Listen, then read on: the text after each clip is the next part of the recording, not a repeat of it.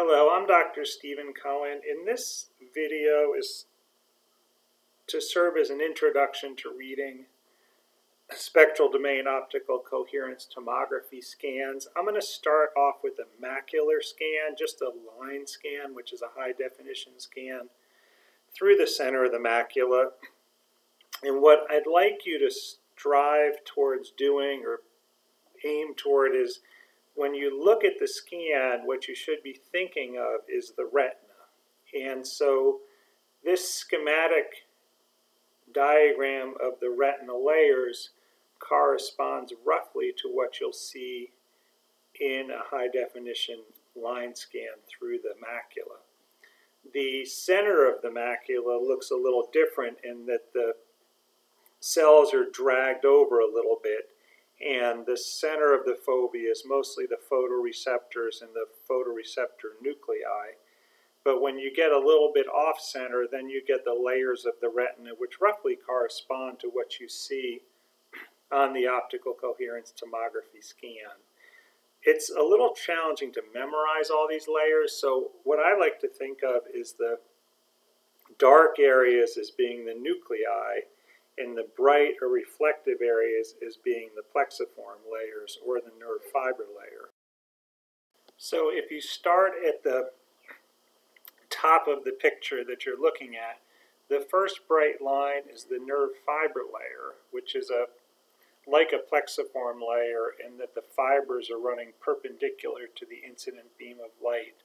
The next layer is the ganglion cell layer where you can see the darker area which you would expect with the nuclei of the ganglion cells.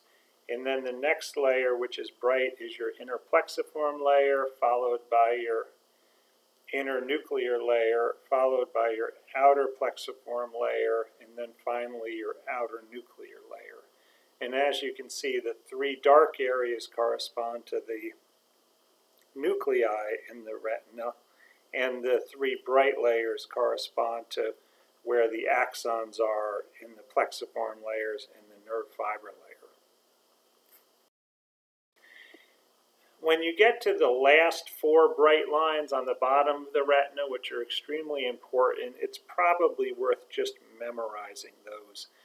The external limiting membrane, which is the dimmest of the lines, is thought to be very important and correlated to visual function and visual potential, and that's formed by the foot plates of the Mueller cells.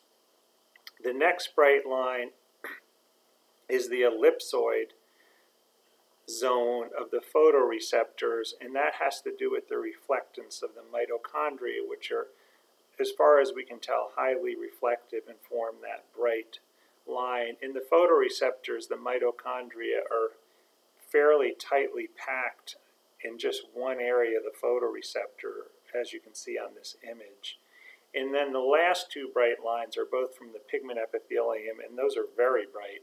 The melanin in the pigment epithelium is thought to be the most reflective area for the optical coherence tomography, and the innermost of those two lines is from the interdigitation zone, where the retinal pigment epithelial cells wrap around the photoreceptor outer segment, and then the back layer is from the retinal pigment epithelial cells themselves. And again, this is all what you'll expect to see in a normal scan. Later in the course, there'll be a series of short videos explaining pathology and, and pathophysiology as reflected on the OCT scan that you would see in the different retinal layers. And planning on going from the inside to the outside, so starting with the vitreous and then going to the inner retina, the middle retina, the outer retina, the retinal pigment epithelium, and finally the choroid. But it's important as a reference to understand the normal scan and the anatomy that you're looking at. When I talk to patients about their OCT scans, I actually always have a laminate copy of a normal line scan that I show them as a reference, and that's very helpful so they can understand where they deviate from a normal scan or where their scan deviates from a normal scan.